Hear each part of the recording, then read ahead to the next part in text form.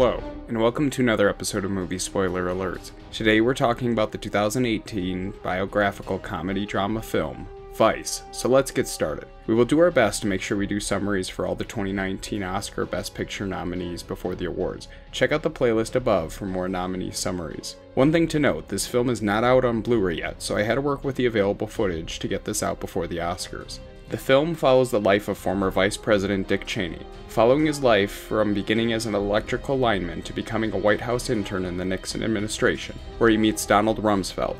Cheney begins to move through politics with the support of his wife Lynn and their daughters Mary and Liz. Cheney becomes Chief of Staff for President Gerald Ford and Rumsfeld becomes Secretary of Defense. After Ford is ousted, Cheney becomes the representative for Wyoming, even after having a heart attack during the campaign. He makes his way to Secretary of Defense under George H.W. Bush, during which his daughter Mary comes out as a lesbian. Cheney eventually decides to back out of politics to prevent Mary from media scrutiny. Cheney becomes president of Halliburton, a large oil company. He is invited by George W. Bush to become his running mate.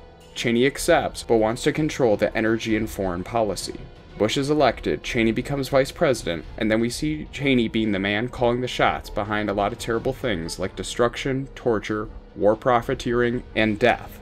Later, Cheney nearly dies from a heart failure but receives a transplant. A few years later, we see his daughter Liz, under direction from Cheney, taking opposition to gay marriage to appease conservative voters, and this upsetting her lesbian sister Mary. As the film ends, we see Cheney stating to the camera that he has no regrets over what he did during his career, and that he feels that the ends justify the means. In a mid credit scene, we see a conservative calling the film a biased attack, while two panelists discuss the next Fast and the Furious movie. So that was the spoilers for Vice. If you have another film you'd like to see me spoil, please let me know in the comments below. Check out movie spoiler alerts on social media, and remember to like and subscribe. Thanks for watching.